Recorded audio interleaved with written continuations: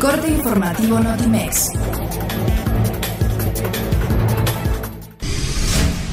Tras los actos vandálicos durante la marcha en la Ciudad de México, por los cinco años de la desaparición de 43 normalistas de Ayotzinapa, el presidente Andrés Manuel López Obrador consideró que quienes lo realizaron no son anarquistas, sino conservadores que perjudican un movimiento legítimo.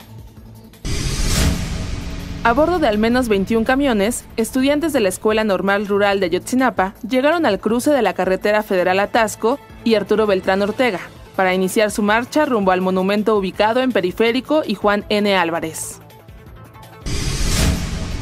Elementos de la Secretaría de Seguridad del Estado de México localizaron en los ejidos de Cuautlacingo dos camionetas abandonadas con 3.400 litros de gasolina, la cual se presume es producto de la ordeña de ductos de petróleos mexicanos.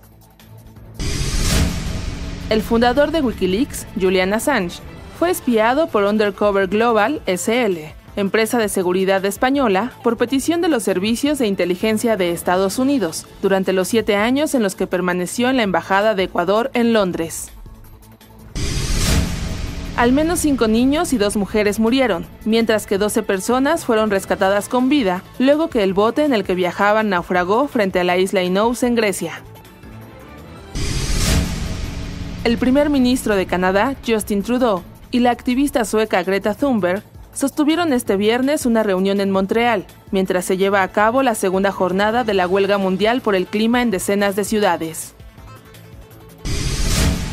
Con el propósito de prevenir el tráfico ilegal de especies en México, la Procuraduría Federal de Protección al Ambiente y diversas instancias gubernamentales de seguridad nacional acordaron intensificar sus acciones coordinadas para enfrentar la problemática.